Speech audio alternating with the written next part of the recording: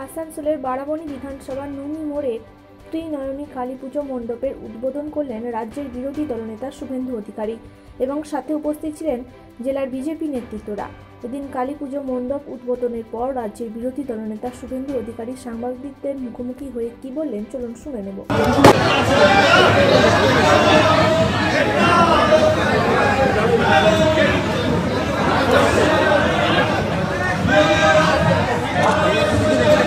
ঠিক আছে ঠিক আছে ঠিক আছে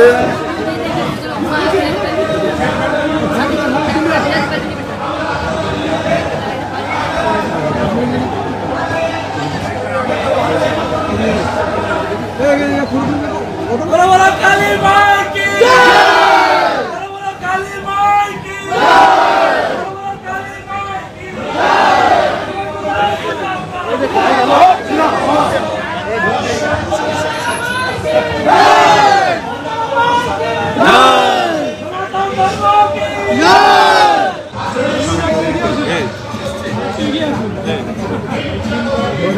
একটু ধরবে আর একটু ধরবে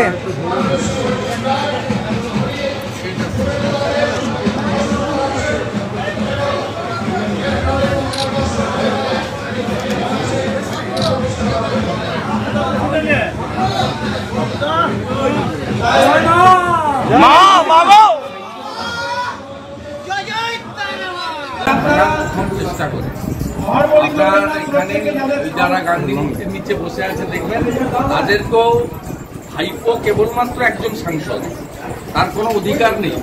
সে সেখানেও কিছু লোককে ম্যানেজ করে ডেকে আলোচনা করে বলেছিল চাকরি দেবে এটা কোলামুল পার্টির অভ্যাস ডিভাইড অ্যান্ড রুল সেই কারণে এরা এই সমস্ত রাজনীতি সংযুক্ত করে। এখানেও চেষ্টা করছে যে পশ্চিমবাংলার মেধাবী, বেকার যুবক, যুবতীরা জেনে গেছে, মমতা ব্যানার্জিকে ক্ষমতায় রেখে কর্মসংস্থান হবে না।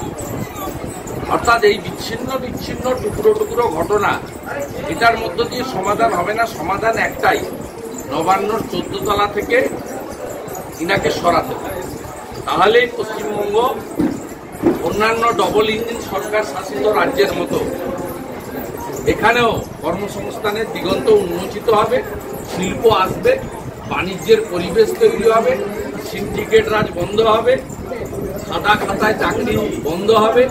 কাটমানি এবং ঘুষপ্রথার বিনিময়ে মেধাযুক্ত প্রকৃত কর্মপ্রার্থীদের বঞ্চনার নীতি আমি দেখেছি পুলিশ, এই রাজ্যের সরকার অত্যন্ত দুর্বল সরকার।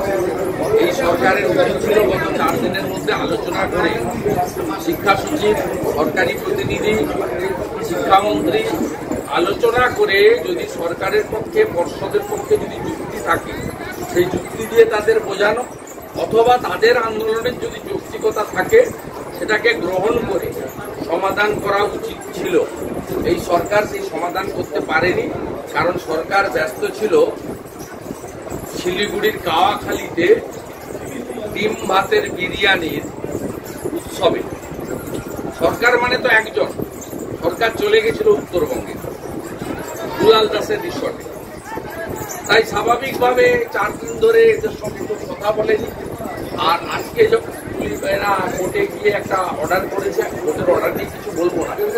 কিন্তু বিচার ব্যবস্থারও উচিত এদের প্রতি সহানুভূতিশীল হওয়া।